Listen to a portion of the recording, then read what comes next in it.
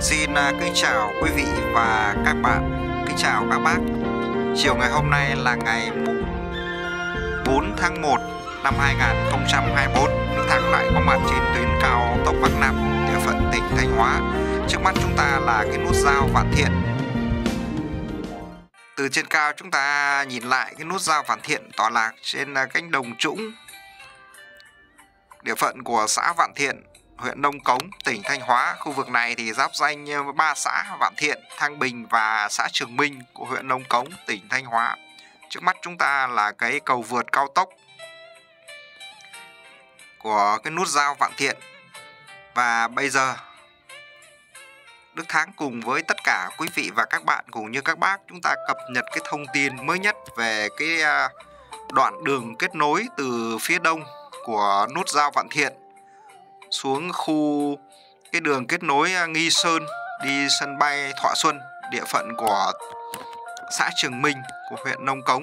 Đây các bác có thể thấy là ngay ở cái nút giao Vạn Thiện, xuống phía đông, thì chúng ta sẽ qua một cây cầu bắc qua con sông Tự Nhiên, đổ về con sông Yên, địa phận giáp danh giữa Thăng Bình và xã Vạn Thiện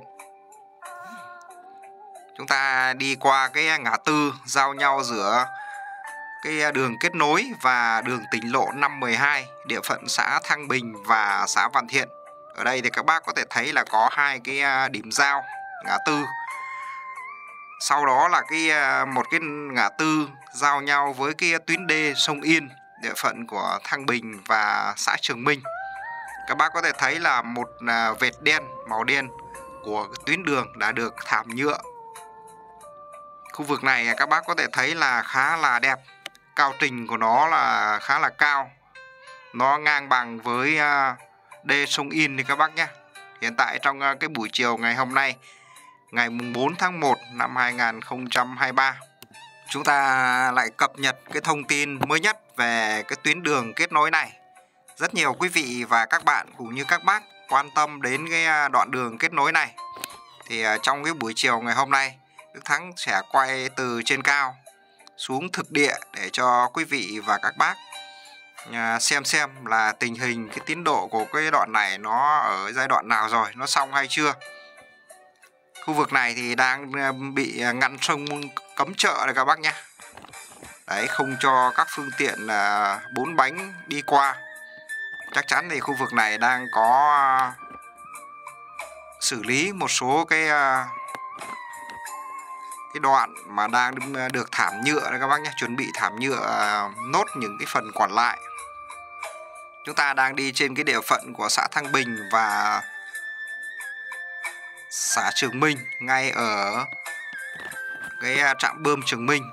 Chúng ta đi xuôi xuống à, phía đông. Cách cái nút giao hoàn thiện khoảng hơn một cây số.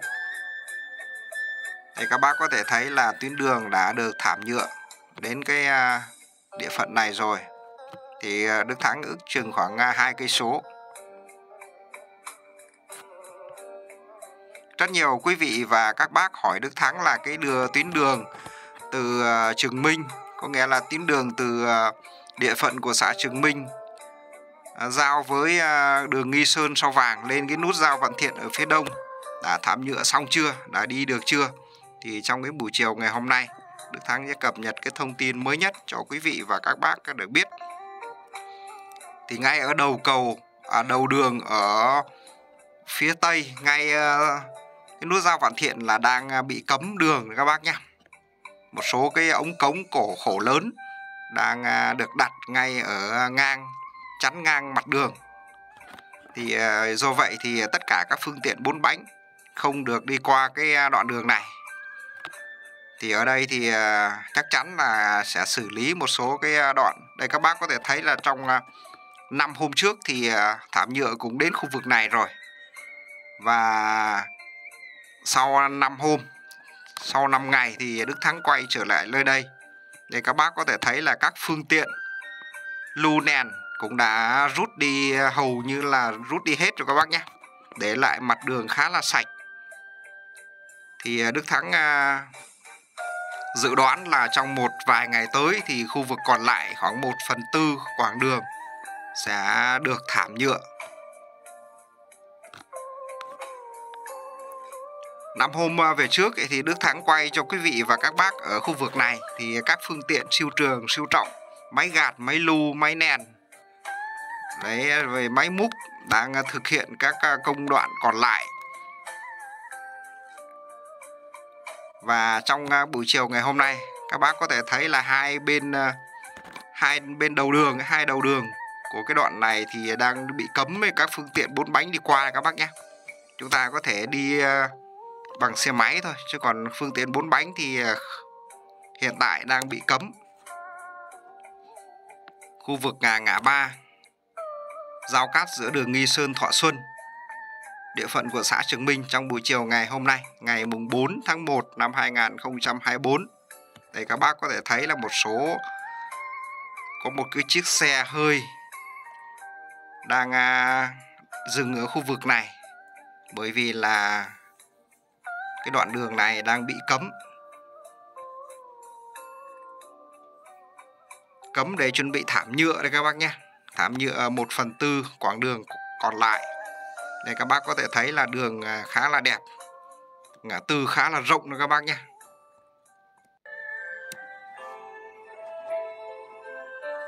Bên tay trái của chúng ta là ra phía bắc, lên sân bay Thọ Xuân. Và bên phải là hướng nam, là vào khu kinh tế Nghi Sơn. Và khu vực này là khu vực à, giáp danh à, địa phận của xã Trường Minh. Đây cái biển cách ngã tư Minh Khôi. Nông Cống khoảng 3 cây số. Để chúng ta nhìn lại từ trên cao. Đây là hướng Bắc các bác nhé. Địa phận của xã Trường Minh. Cánh đồng và khu dân cư của xã Trường Minh.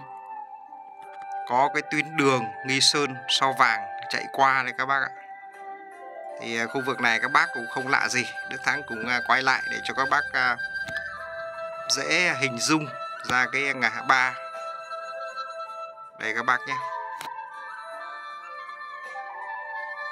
Đây là phía nam, chúng ta vào khu kinh tế Nghi Sơn.